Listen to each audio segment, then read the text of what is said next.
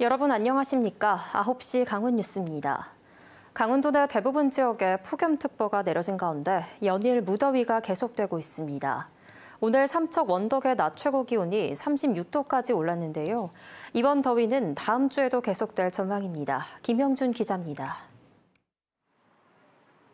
내려쬐는 뙤약볕에 습한 기운까지 더해진 도심. 꺾이지 않는 폭염 기세에 숨이 막혀옵니다. 뜨거운 열기에 강변 산책로에도 인적이 한산합니다. 모처럼 여행 온 관광객은 폭염에 지쳐 연신 손 선풍기로 열기를 식혀봅니다.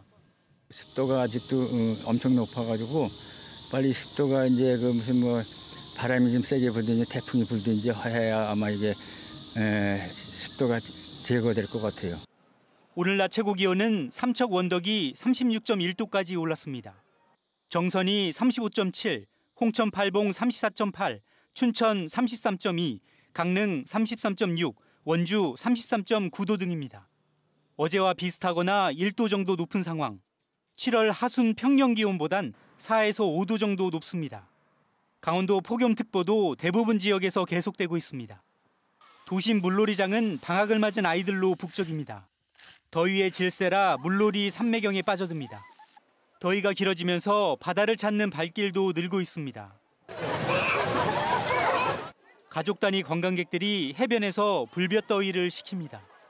여기 바다 가족들끼리 바다 나오니까 뭐 바람도 시원하고 그리고 날씨도 너무 맑아가지고 물도 시원하고 그리고 바닷물도 너무 맑고 그래서 가족들끼리 굉장히 좋은 시간 잘 보내고 있습니다.